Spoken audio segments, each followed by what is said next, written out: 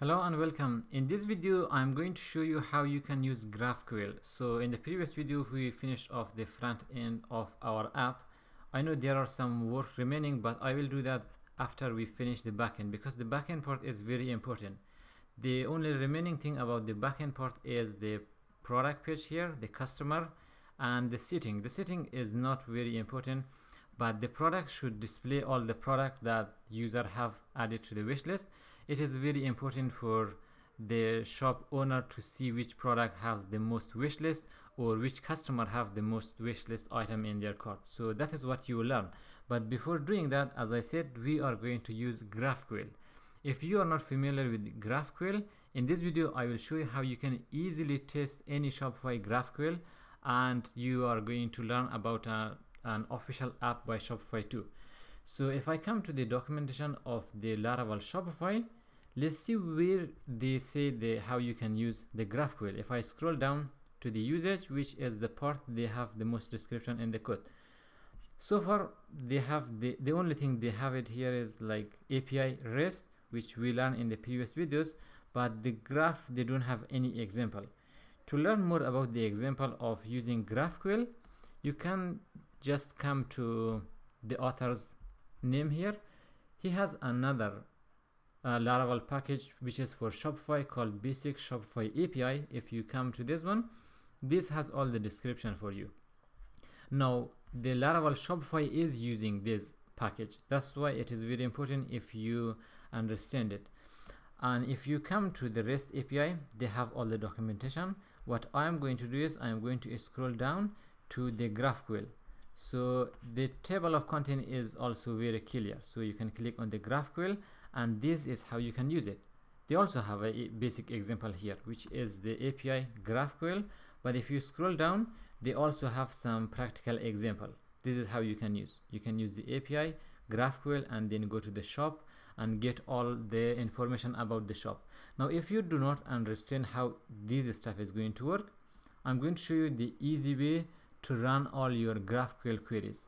Now the purpose of GraphQL is to make requests like return faster because GraphQL is working like this. You get the data that you need. It is not like REST API. You send it to an endpoint and it return all the product. In here it is different. For example, you say go to the shop and take first product from the shop. Also, if you are taking first product from the shop, I just need the handle and the ID of that product, which makes it a little limit like not limit it makes it easy for you to see like which data you need. Just take those data. And GraphQL is very important because in the next job you are going to apply they are going to require you to know GraphQL. That's why it is very important to know also. Now how you are going to run this in your uh, code that is what we do in the next video. But for now how you can test it uh, you can come to the Shopify documentation for the GraphQL we learn about the rest so if you come to the GraphQL references it has another app called Shopify GraphQL app. Click on the app here. You can install it on any store. After you install it you can run your GraphQL queries easily and after you test this and if it works properly you can use that in your app also. So here is how I can install it. So I will just copy the URL of my store write it down here. It is just for development. You can install it on any store. Also from the scopes I'm going to check everything because I might need to come back and say okay I need access to the content read or the theme read. So I'll just check everything and say install because I need those access. Now it will come to the authentication. I am going to install the app. After that it is going to redirect you to the GraphQL app here now this is the example that they are going to provide for you. If you run it this play icon is going to run and it is going to return null because it says take this product. This is the id of the product which does not exist of course because they are giving you that one. If you click in the history it is going to show you the history of the query that you have run. This is the, the history that I have. So if I check this one and run it it is going to return the first product handle here. It is very easy also.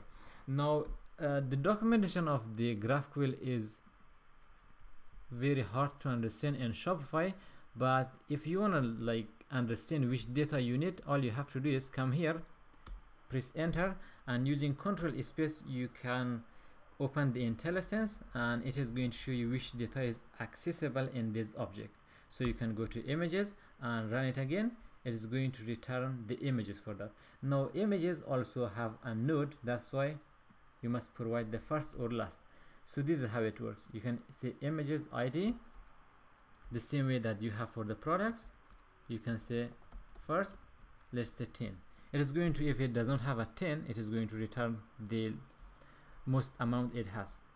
Here is how easily you can get those. It is going to return the id and also press control or command space and you can scroll down and see which more information you want. You can see original src which is going to be the source of that and this is going to be the source.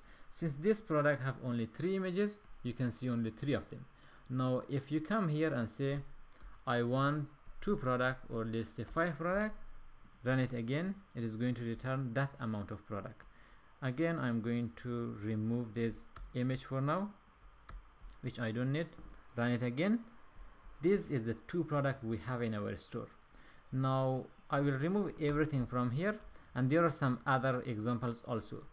The example that you see here is not working. So because the documentation is not updated. So if I copy this one let's come to the GraphQL app here. I will paste it. You can click the pretty.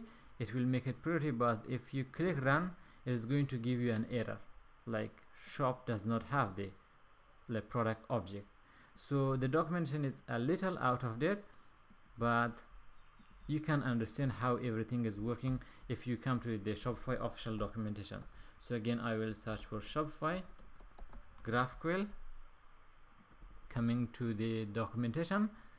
As I said it is also very hard to understand. The authentication is already done for us. You can click on the query root and in here you can like learn more about how you can do all your query.